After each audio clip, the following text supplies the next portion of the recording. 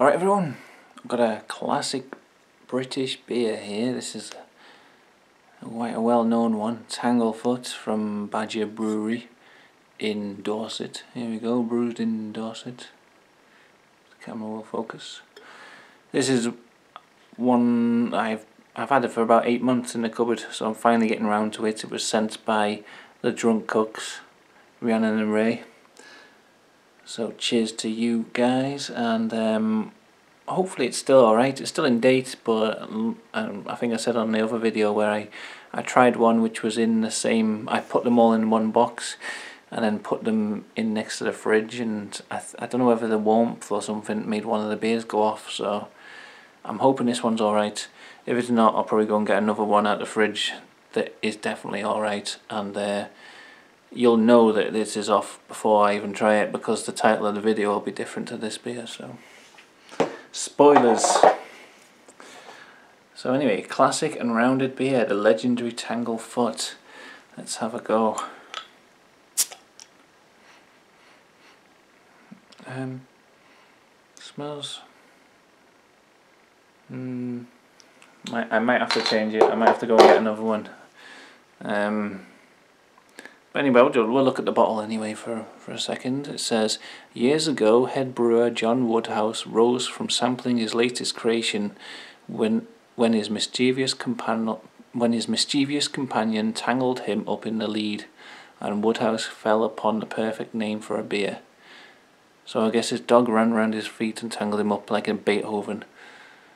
Um, a golden ale with hints of melon and pear. It is ideal with steak pie. We've been brewing it in the heart of Dorset since 1777.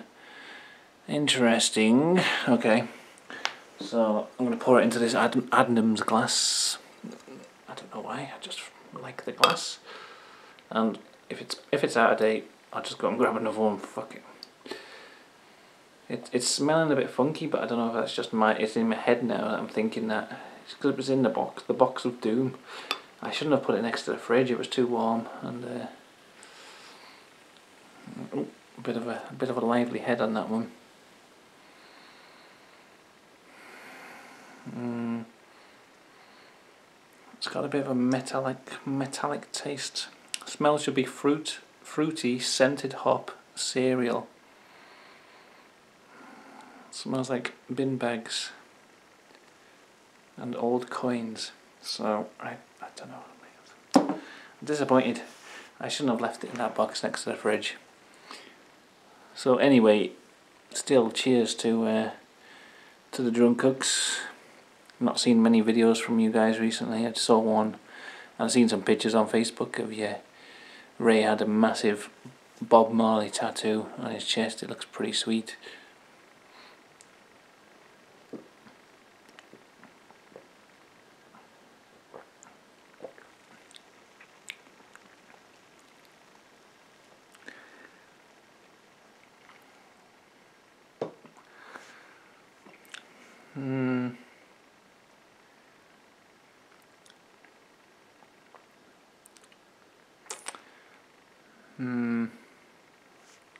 Tell. I, I think I, you know, I'm I'm too paranoid to um give up on this one, because I'm thinking that is it just is it just me thinking that like because I had one that was bad out of the box and I'm I'm I've got it in my head that they're all bad.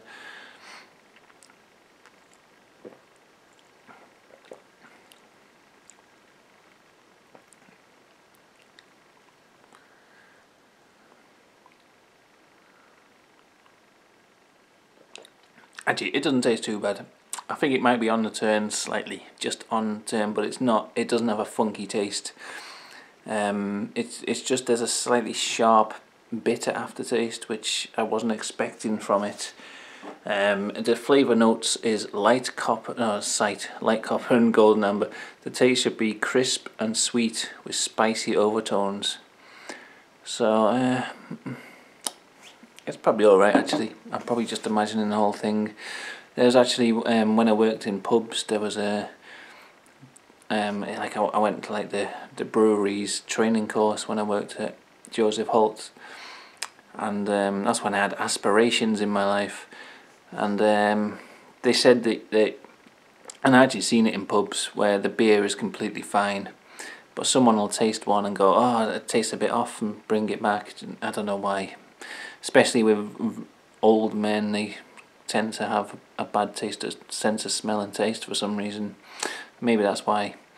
But um, but then the word will get round, and suddenly everyone's tasting the beer as if it's off, even when it's it is completely fine. It's just like one person has to say, "Oh, it doesn't taste right," and then suddenly everyone is is tasting it and bringing their beers back, and and it'll even spread to other pubs, especially when you live in an area like when I lived in Manchester and it was Joseph Holt pubs, the word had spread between all the Joseph Holt pubs and go around that there's a bad batch out there, even though it wasn't really, it was just one person imagining it basically.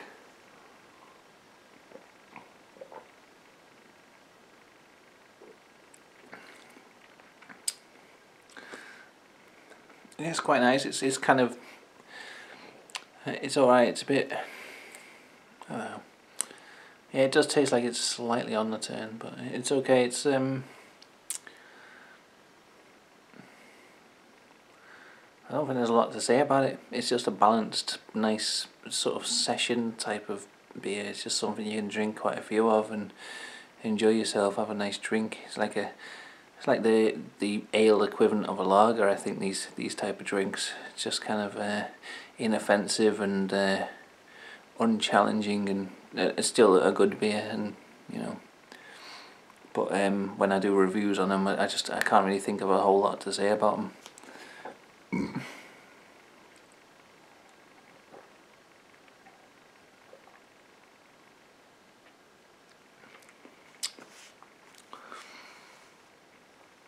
spicy overtones as it says here. Not really getting there it might be the sort of sour sour taste it's slightly sort of maybe a bit spicy, but I don't know. It's it's, it's quite nice, but there, there's not a great deal to say about it. Um, I do like the beers where they give you a little story as to why they, it's called that, why they give it that particular name and stuff. Uh, I just realised the artwork as well. It's it, it it is a dog on a lead, sort of. Work, the lead's working its way through the lettering and it, the le lettering is the lead leads onto the word legendary. That's alright isn't it oh. so uh, I haven't been up to much in my weekly days. I've been watching loads of Brittas Empire. I know I've talked about this before because I was watching them but it, it's it's it's a good comedy. I, I think it's one of them uh, it's corny as fuck. It's really like it has a really you know it's really um cheesy for a comedy, especially like a British comedy. It's really like over the top at times and just stupid. Like really stupid things happen, and uh, all the characters really are over the top. And um, but I think it's I don't know. I think it's actually quite a weird comedy. Like I don't hear a lot of people talking about it. You know, when they talk about old comedies they remember fondly, it's like Red Dwarf, and, uh, Bottom, and I don't know, all of the, the usual suspects, and Brittas Empire sort of remembered as a bit of a slightly crappy comedy, but um, yeah, I've been really enjoying it, and TiVo linking the series link on TiVo, and watching them and binge watching them of a night time. It's a good show, I like it. Chris Barrie on top form. Yeah, and they're bringing back uh, the new series of Red Dwarf. is coming out soon. Red Dwarf Eleven, I think. I'm looking forward to that. Um, the uh, the last season, season ten, I didn't like um, Red Dwarf Back to Earth or something. The one where it was like a feature length thing where they, or maybe it was like a two part, or three part, where they went back to Earth and then it was like they were in another dimension where they met like like Lister met Craig Charles the actor and uh, it was a bit weird and it wasn't the concept of that I didn't like it was just I don't know I don't think it was that well executed but um, series 10 Red Dwarf X was excellent I think. I thought that it got it back on top form so uh, I'm looking forward to series 11 it should be good. Yeah. Another thing I've been watching which uh, I can recommend is um, Ash versus the Evil Dead. I wasn't expecting much from that. I thought it might be just like a bit crappy, but it's um, Sam Raimi's directing it, and it's it's just like it doesn't disappoint if you're a fan of the Evil Dead movies. Um, it's got like the the corny sort of um, 80s style sort of um, humor, like his sort of suave. Uh, I don't know, like his his presence in the movie. Had a very eighties feel, and it has that sort of feel in the in the uh, TV show. But it's as if you know, it's got very much like like he's in modern times, and his uh, how he comes across to people today, sort of acting all like like Ash basically did in the, in the in the movies, or at least in the the third movies. I think his character developed over the movies from like I think that when they made the first Evil Dead, it was meant to be like a serious film, but because people saw it more as a comedy, they, they kind of played on that more and more as the series went on. And then by the, by the third movie, it was pure like slapstick, and Bruce Campbell, um, Ash was just like this wisecracking, jokey sort of character, and um, yeah, and it's really like violent and silly. I think they do they use CGI a bit too much. I think they should have gone for the whole like prosthetic gore effects. Um, they do use CGI, which is slightly disappointing, but other than that, I, I thoroughly recommend it. Uh, Ash versus the Evil Dead. Um, yeah, didn't disappoint. I don't know. See my table behind me there. You see the box, the Amazon box. I've got that there purposefully because um, there's so many dirty plates and cups on that table instead of actually just cleaning up, I just propped up an Amazon box so that it was blocked to the view for the camera. That's basically my version of washing up, just put a box in front so nobody sees it. That's good. Good plan. That's a good good advice.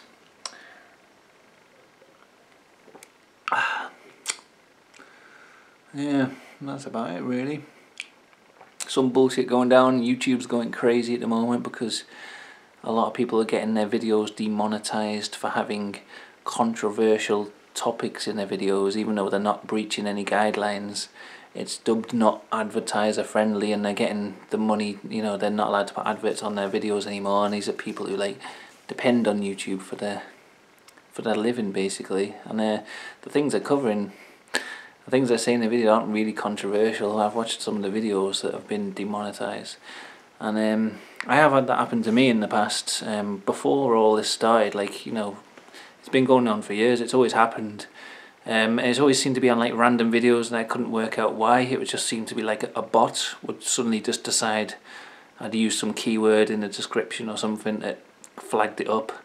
Um, and you could always just sort of upload the video again, even with the same description and tags, and it would that one would be monetized. It was like it didn't. It was a bit of a broken system, so I don't know what's going on with that. Everyone seems to be going crazy about it at the moment, saying it's like YouTube censorship and stuff. So oh, it's interesting. I think YouTube just has a, has a monopoly over everything. Like there's no other alternative really. There's other video sites, but they're not as popular as YouTube by any means. So they they can just treat the users however they want really they just want to make as much money as they can so they just they don't really care. It used to be sort of it used to have a feeling that like YouTube was like for the for the people.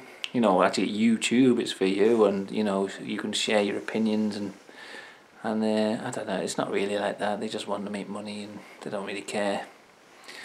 Strange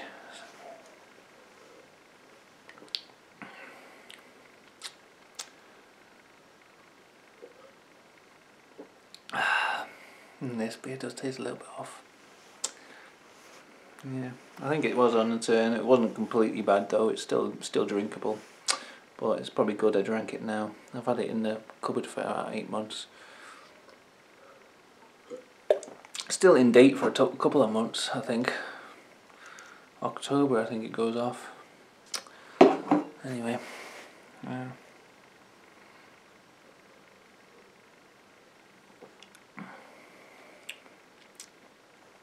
Yeah.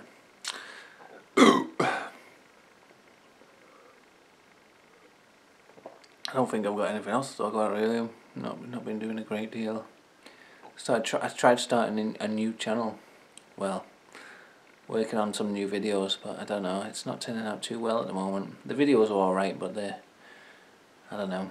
I might leave it a couple more weeks before sort of talking about it because kind of you know when you start a new channel and you're trying to find the style and all that to it. I don't know. Uh, anyway. Oh, and I said last video that um, I was playing Worms World, uh, the new Worms game. I had downloaded it and everything. It didn't work on my laptop. Yeah, I had. I'm sure I had all the right specs that it said on the Steam page.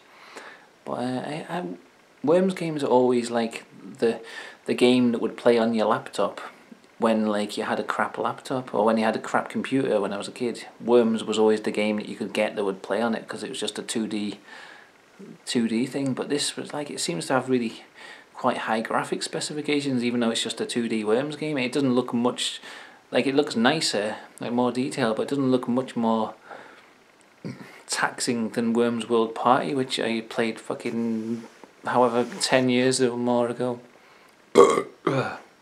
but yeah, it wouldn't play on my laptop. The graphics were all like all jangled up, so I had to. Get, I just got a Steam refund straight away because I need needed the money back basically. Spent the money on soil and nutrients from Amazon.